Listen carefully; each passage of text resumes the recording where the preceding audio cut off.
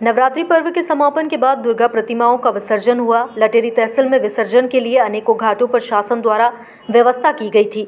एक और जहाँ हर साल प्रशासन की ओर से कई तरह के इंतज़ाम तो किए जाते हैं, लेकिन बड़ा सवाल यह है कि गणेश विसर्जन हो या फिर दुर्गा प्रतिमाओं का विसर्जन हो, अभी तक लटेरी में शासन प्रशासन विसर्जन स्थल पर कोई घाट नहीं बना पाया है।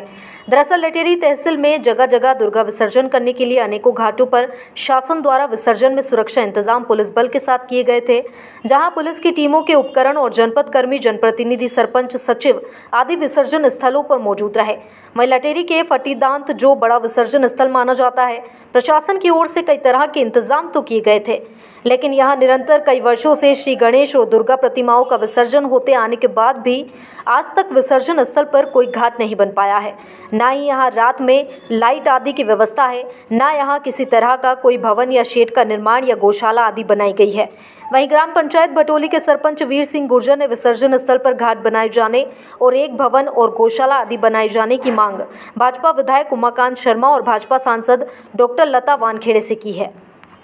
एक दो तीन चार माता जी की जय जब से अम्बे आई है। बोलो शेरा वाली मैया की बोलो पहाड़ा वाली मैया की है है।